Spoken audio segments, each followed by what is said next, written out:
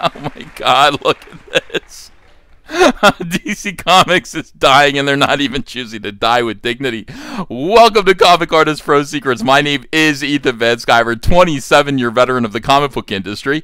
Uh, now, before we get into this video, and I, I cannot wait to explore this madness, uh, but before we do, would you consider taking a minute and looking at Reignbow the Brute? That's my new Indiegogo campaign for uh, my new comic book. Uh, I'd appreciate your support. Now, if you can't back uh, that, if you can't do that, uh, maybe you could hit like uh, on this video, share this video, subscribe to this channel. I need your help to push back against the very deliberate and ominous suppression of YouTube channels like mine.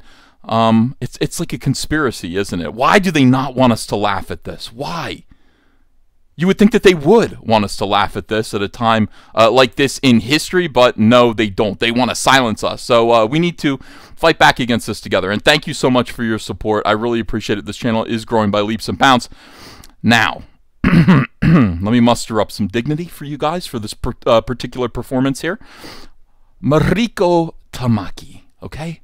Uh, she is a, a, YA author. She was hired um, by DC Comics to produce this right here several months ago. Now, I don't know for sure, but I'm going to take you know what? I'm going to risk a guess, and that guess is that she was hired about four or five months ago, back when uh, AT&T was doing its first bloodbath, back before uh, when it when it uh, fired most of its editorial staff, the first 20%.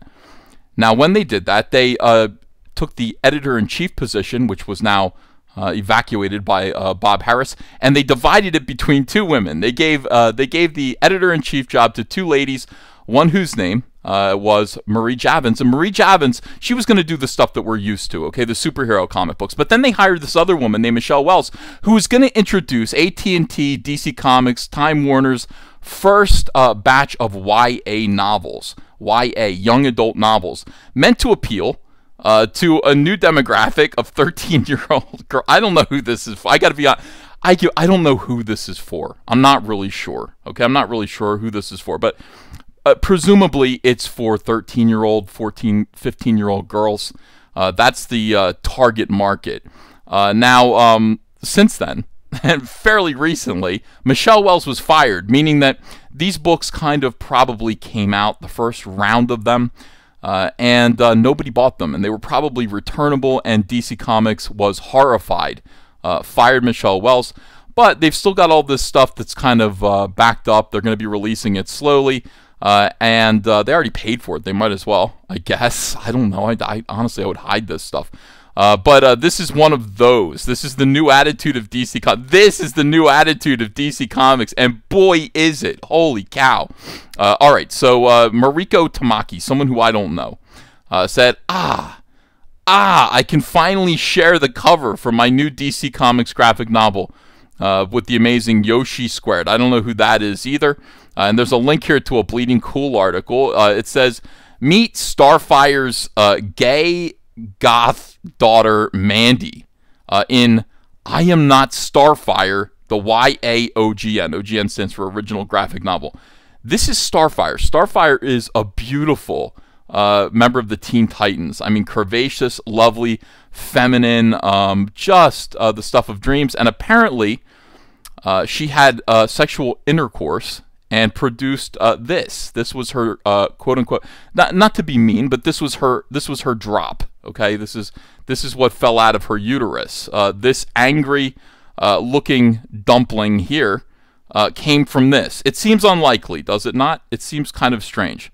Uh, also, she looks to be a teenager, which would make Starfire in her 40s. In her 40s, she doesn't look like a 40 year old. Uh, all right, so this is a, a New York Times best-selling author, Mariko Tamaki, uh, who has uh, been given the keys to DC Comics characters. Uh, uh, they're happy, bright, optimistic characters, and this is uh, this is what this is the message. This is the message that she would like to send to the world. Let me see what she is saying here. I Am Not Starfire was one of DC uh, YA graphic novels announced back in 2019. Oh, so it was a long. My God, they planned this for a long time. Uh, okay, we might as well get this off the dockets as quickly as possible. Written by Marika Mariko Tamaki, uh, drawn by Yoshi Yoshitani. We now have a date, a description, and a cover. Oh my goodness. August 10th, 2021. Um, and a better idea of who this person who is not Starfire might, might be. Her name is Mandy, Starfire's daughter, who appears to be a bit of a, a pill. Uh, she looks to be um, an overeater. Uh, she looks to be angry about something. She looks to be into self harm. Uh, I am worried about her. I do not know what it is about Starfire's parenting um, that has led to this. I, I, don't know. I'm not sure. All right, let me read this, the the description here from New York Times best-selling author Mariko Tamaki. and this is uh, she did a couple of books here. Uh, and another artist here comes a story about Mandy, the daughter of super famous superhero Starfire. It really sounds like this person knows everything uh, about Starfire, super famous superhero Starfire, and her attempts, her desperate attempts to get out from under her shadow. 17 year old Mandy Coriander is not her mother. Is Coriander a last name for Starfire? I, I don't think it is. Daughter of Starfire and high school outcast, Mandy is constantly trying to get out from under the shadow of her bright, bubbly, scantily clad, and famous mother. She sounds great dyeing her bright orange hair black and sticking close to her best friend Lincoln, Mandy spends her days at school avoiding Teen Titans superfans and trying to hide her feelings for her gorgeous, popular, and perfect Claire. And while Mandy usually avoids spending too much time with her alien mother, she's been particularly quiet as she's keeping one major secret from her. Mandy walked out of her SAT. While Mandy continues to tell Lincoln her plans of moving to France to escape the family spotlight and not go to college, she secretly hides a fear of not knowing her secret identity outside of just being the daughter of a superhero and who she will become. But when she is partnered with Claire to work on a school project, their friendship develops into something more, and a self confidence unknown to Mandy begins to bloom. Of course, she's gay. Of course she is. That's uh, that is every character now in comics uh, is gay uh, or trans or something. Of course, uh, that's just uh, that's a given. But when someone from Starfire's past comes to disrupt Mandy's future, ooh, I mean, who could it be? I hope it's Deathstroke. I do hope it's Deathstroke. Uh, Mandy must finally make a choice. Give up before the battle has even begun, or step into the unknown and risk everything. I Am Not Starfire is the story about mother daughter relationships, embracing where you come from and finding your own identity, and learning to be unafraid of failing uh, even if uh, wait, if it was even failing in the first, it was, it was. This is uh, this is a failure on everybody's part here. Uh, this is this is an, an image of failure. Uh, it is this child's failure. Uh, it is this mother's failure. Uh, it is DC Comics' failure. Uh, it would be Mariko uh, Mariko Tamaki's failure to produce something that anybody would ever want to read. Uh, this uh, this reeks of failure. Uh, but who am I to judge? Now, why? Where did this image come from? Why would Starfire have a daughter that looks like this? That I do not understand. Uh, you know, this is a this is a character like who who is the father? Oswald Cobblepot? Who Starfire and made this? Who did it? Why would it look like this? Let me see what Mariko Tamaki looks like, just out of curiosity. Oh, oh, I, oh, you don't say. Oh, you don't say. I I'm starting to see. Wait a second here. Oh my goodness. Oh, you don't say. Okay, well, uh, I guess. Look, I mean, I guess writing a comic means you get to write yourself into it. That's fine. Well, surely everyone in comics is probably horrified by this. Uh, everyone in comics is probably looking at this uh, with scorn and derision, right? Uh, no, wrong. I mean, this is uh, uh, SJW Comics. Uh, these, are, these are the cheerleaders of failure uh, and despair. By the way, this is a profoundly negative and depressing book. Is this really the message uh, that DC Comics wants to send to young ladies? To just hate your mother. If your mother's more popular, if she's the center of attention, uh, you are to become this. You're to resent your mother. You're to uh, wear black lipstick and repel people. Uh, um, this is amazing. This is this is like amazing. It's like awesome. Yes, this looks so good. Oh my gosh, so cool. I both of your works so I don't know what that means. All right, so we got more people here. Look at this. It's so beautiful. Uh, everyone is so excited about this. I wonder if any of them are going to buy it. All these people are so excited. SJWs just want this stuff to exist. None of them uh, are going to support this. None of them are going to buy this uh, at all. And here's Rich Johnston, uh, who wrote the article. Uh, who is the father? That question goes unanswered. Again, I think it was the penguin. Uh, this looks incredible. Congrats. And I can't wait to buy this for my niece. You don't have your own kids? I see. Uh, I look forward to seeing how this turns out. I do too. That would be my comment. I do look forward to seeing how this turns out myself.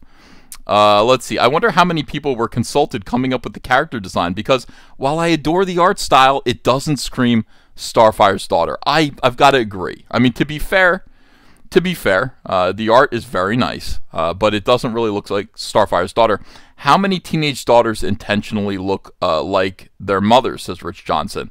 Well, when their mother is a big famous rock star, uh, or movie star, or a celebrity, or a superhero, probably most well adjusted daughters would attempt to uh, evoke uh, that image. Uh, unless they hate their mother, unless they're actually filled with hatred for their mother, uh, in which case I want to know why Starfire uh, is hated. Here's Gabriel Picolo, who has not fulfilled his Indiegogo campaign for Icarus and the Sun yet. He's very excited for this. Uh, and let me see who else is uh, responsible for this. Joe Glass. This looks so very cool. All right, Joe Glass. By the way, we were talking about Joe Glass the other day because uh, Zach, uh, your boy Zach from uh, Comics Matter with your boy Zach, great YouTube channel. You should subscribe to it. He said, uh, "Have you noticed that soy boys aren't doing the great big open mouth smile uh, anymore?" And I said, "Yeah, I have noticed that." He's like, "When did that stop?" And I said, "I think it must have been PewDiePie." Uh, and he agrees. It's like I think PewDiePie shaming this particular gentleman, Joe Glass here. Uh, you know, he uh, PewDiePie actually showed a famous picture of this man uh, with his mouth wide open doing the soiling grin, uh, and he quickly this guy changed his uh, avatar. And you know what can I tell you? People are doing a, a lot less of. That's the power of PewDiePie. there are a lot fewer soiling grins on the internet, and for that, thank you so much, Pewds. So this is where we are right now. This is DC Comics in 2020 going into 2021. Uh, this is the message that we are sending. Uh, we hate our parents. Uh, we hurt ourselves. we repel. We repel people. Deliberately try to repel people. we overeat. we dress like monsters. and that's all in response to uh, rejecting positivity, uh, maybe jealousy, maybe attention seeking. Uh, this is what we want to tell kids. And again, we can tell kids whatever we want. And this is the magic of comics. We can send children any mes- message that we want to send them with the stories that we create, right? That's that's the power of art. Why are we sending them this message? why? Because because why? Because this exists in the world? Uh, I, I don't necessarily think that, you know, uh, this thing here, uh, being gay, uh, should lead to uh, this kind of uh, scowling, ugly sneer. Uh, but then again, when you are writing yourself into your own comic book, I guess anything goes. Thanks, everybody. Please do subscribe to this channel. Let me know what you think in the comments below. Is it the end times yet? Where are the four horsemen of the apocalypse? I- am waiting to hear their gallops at this point. Uh, I really am. Uh, any time now, God, anytime end the end this planet. Uh, we've we had a good run. Uh, all right, like, subscribe, leave me comments below. I'll read them all. I always do. I read all your comments, and I'll see you again soon with another video. Hey, I got a PO box. Want to send me some mail? Send it to Ethan Van Sciver, PO Box 607, Marlton, New Jersey 08053, and I'll probably open it up on the live stream. Thanks very much, everyone.